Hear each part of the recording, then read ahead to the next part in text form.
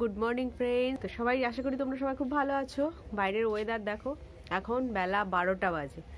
টিপ টিপ করে বৃষ্টি পড়ছে, তবু আমি ছাদে এতগুলো জামা কাপড় কেটেছি, কিন্তু উপায় নেই, ছাদে একটু দিয়েছি। একটু তো হাওয়াটা টেনে গেলে তারপর ঘরে নিয়ে দেবো। মানে সবে ছিটে ফোটা বৃষ্টি পড়ছে, কিন্তু ওয়েদার দেখো বাইরে, মনে হচ্ছে এখন সন্ধেবেলা।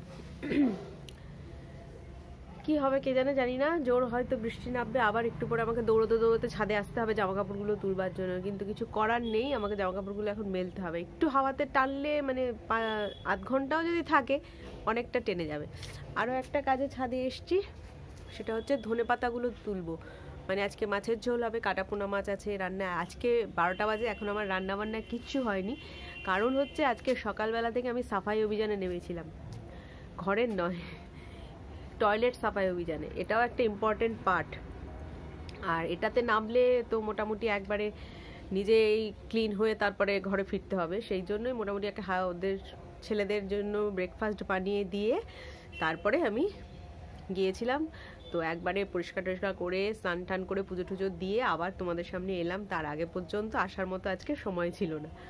তো যাই হোক, এখন তাড়াহুড়ো করে গিয়ে রান্নাটা করতে হবে, কেননা অলরেডি বারোটা বেজে গেছে, আর আরও বেশি যদি আমি এখন গল্প করি তোমাদের সাথে, তার মানে আরও বেশি হয়ে যাবে। ধনে পাতাগুলো নিই। দেখো পালং শাকগুলো, আবার দেখাচ্ছি, রোজই দেখাই। কেন বলো তো? আমার ভালো লাগে দেখাতে তোমাদের। আর আমার গাছগুলো কতটা আস্তে আস্তে বড় হচ্ছে সেটাও তো তোমরা দেখছ, তাই না? এই দেখো। এর আগের দিনও তুলে নিয়ে গেছিলাম, বেশ কয়েকটা নিয়ে গেছিলাম, মাঝখান থেকে মাঝখান থেকে তুলে।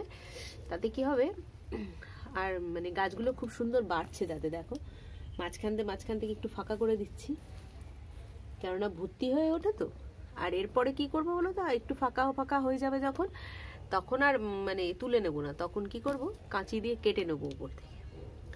এখন অনেকটা মানে গাদা গাদা ভর্তি হয়ে আছে বলে একটু ফাঁকা করে দিচ্ছি।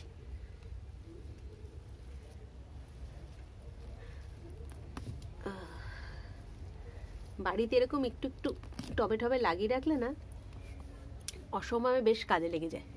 আর আমার লেবু গাছেও ফুল এসছে, দেখো। এই দেখো।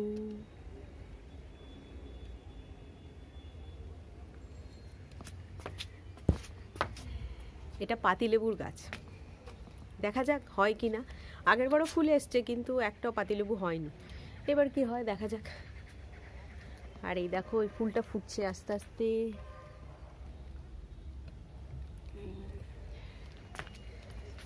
কি ওয়েদারের অবস্থা? মানে কি গাছপালা তুমি লাগাবে? আর ওই যে পেছনে সব বালতি দেখছ, ওগুলোতে সব আমার সার তৈরি করা আছে। মানে কিচেন কম্পোস্ট যাকে বলে। ওইগুলোই আমি গাছে দিই কিন্তু। আর মানে বাইরের কেনা সার খুব কম। মানে বিশেষ কয়েকটা গাছ ছাড়া আমি খুব একটা দিই না। মানে যে গাছগুলো দেখা যায়, ওইগুলোতে দিয়েও কোনো কাজ হয় না। সেই সব গাছগুলোতে আমি দিই। আমিও খুব বেশি জানি না গাছের পরিচর্যা। ওই টুকটাক শুনে শুনে দেখে দেখে শেখা। তো মোটামুটি চলো, আর গল্প করব না। এবার নিচে নেমে যাই। রান্না বান্নায় মনোযোগ দিই দেখো, আজকে পুরো একে তো ঠান্ডা লেগেছে। তারপর পর আবার শ্যাম্পু করে স্নান করেছি। কিন্তু কি করব বলো? মানে একে তো শীতকাল ড্যান্ড্রপের উৎপাতে চুল উঠে পুরো দুদিন পর মনে হচ্ছে টাক হয়ে যাব। হ্যাঁ এত পরিমাণে চুল উঠছে আর এই সময়টা কম বেশি সবারই চুল ওঠে। তো সেই হিসাবে আমারও উঠছে। তো অ্যান্টি ড্যান্ড্রাফ শ্যাম্পু ইউজ করি, যাই ইউজ করি না কেন, চুল উঠছে। কিন্তু কি করব? আর এই শীতের ভয়ে, ঠান্ডা লেগেছে, তার ভয়ে প্রায় আজকে মানে এক সপ্তাহ ডিলে করে করে আমি না, আর পারা যাচ্ছে না। বাকি যে কটা চুল আছে, সবগুলো উঠে যাবে। এই ঠান্ডার ভয়ে যদি আমি শ্যাম্পু না করি, তো বাধ্য আজকে যেহেতু ওই টয়লেট ক্লিন করেছি, তো ভাবলাম এটাই সুযোগ। একবারে নিজেও ক্লিন হয়নি, তো মাথাটা অনেকটা হালকা লাগছে।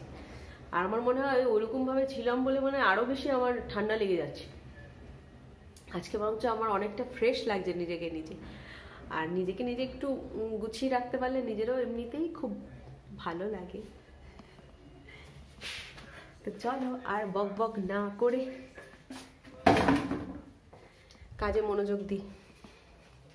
এখন কোমর বেঁধে লেগে পড়তে হবে, বুঝতে পেরেছ? এই যে, আজকে সকালবেলা তাড়াহুড়োতে মাছগুলো জল দিয়ে ভিজিয়ে রাখতেও ভুলে গেছি। কিছুক্ষণ আগে বের করে মানে নিচেও একটু কাজ ছিল, তো স্নান করে আগে সেখানে যেতে হয়েছিল। তো সেরে টুরে তখনই ভিজিয়ে দিয়ে চলে গেছিলাম। দিয়ে এসে যখন রান্না করব ততক্ষণে ই হয়ে যাবে। তো চটপট রান্নাটা সেরে নিই, তারপরে আবার বক বক করব। এখন ফিরে এসেছি রান্নায়। রান্নায় দেখো এখানে হচ্ছে আলু, পেঁয়াজ, কলি, গাজর সব দিয়ে একটা ভাজি হচ্ছে আর কি, একটা ভাজা সবজি। আর এখানে মাছ ভাজা হয়ে গেছে। আর কড়াই মাছ ভাজাটা আজকে যেহেতু ধনে পাতা দিয়ে করব, আর ধনে পাতা দিয়ে আমি যখনই মাছের ঝোল করি ধনে পাতা দিয়ে, তখন মেথি সোমবার দিই। আর দিই কাঁচা লঙ্কা।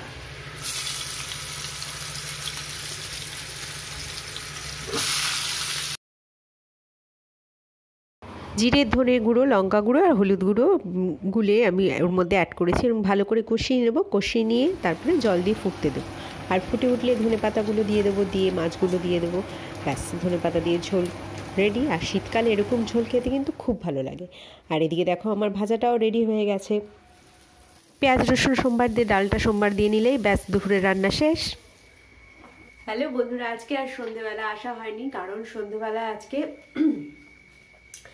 এই রাত্রিবেলা এসে এখন ভাত টাত রান্না বসালাম, আর সন্ধেবেলা আসিনি কারণ আজকে ছোটটাকে একটু মানে ওর পড়াটা নিয়ে একটু বেশি ব্যস্ত ছিল, সেই কারণে আসা হয়নি।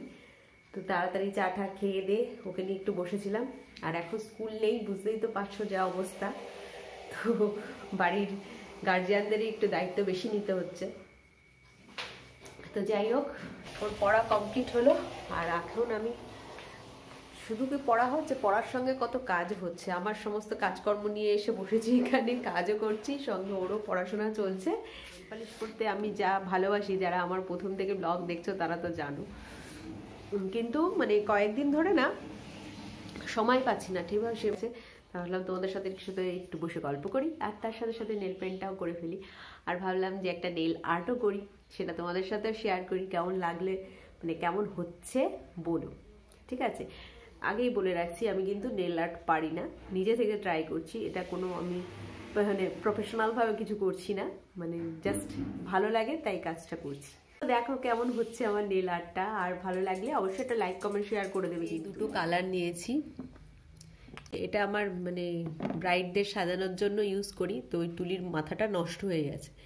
যে কারণে এটাকে আমি কেটে দেখো, একদম ছোট করে নিই নেল পালিশ সবসময় প্রথমে এক কোট করে লাগিয়ে নিতে হয়, তারপর পর আবার সেকেন্ড কোট দিতে মানে পুরোটা কমপ্লিট করার পর আবার প্রথম থেকে সেকেন্ড কোটটা অ্যাপ্লাই করে আসতে হয়।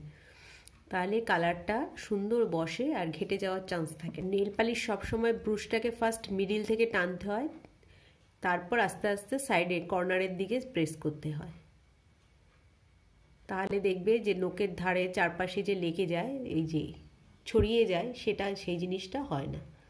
এটা একটা আর্ট এটাতে তুমি যা খুশি নিজের মনের মতো ডিজাইন করতেই পারো, কোনো অসুবিধে নেই। স্টোন দিয়ে ডিজাইন করতে পারো বা গ্লিটার দিয়ে ডিজাইন করতে পারো। তো অনেকভাবেই এটাকে ডেকোরেট করা যায়। এখন তো বিভিন্ন রকম ডেকোরেটের নেল ডেকোরেটের জিনিসও পাওয়া যায় অনলাইনে তো সেগুলো পারচেস করে নিতে পারো। আমি জাস্ট এটা নেল পালিশ দিয়ে নেল পালিশ ঘরে বসে টুকটাক কীভাবে করা যায় সেটাই তোমাদের সাথে শেয়ার করলাম। দেখো কেমন লাগছে। এক একটা এক একটা ডিজাইন করেছি। তাহলে আজকে আমার নেল আর্টটা কেমন হয়েছে একটু বলো। ভালো লাগলে অবশ্যই লাইক কমেন্ট শেয়ার করে দিও। আর পাশে রাখা না না সাবস্ক্রাইব করে নিয়ে পাশে রাখা বেল বাটনটাতেও দাবিও। তাহলে সমস্ত নোটিফিকেশানগুলো পাবে। সবাই খুব ভালো থেকো, সুস্থ থেকো। তাহলে আজকের মতো, টাটা।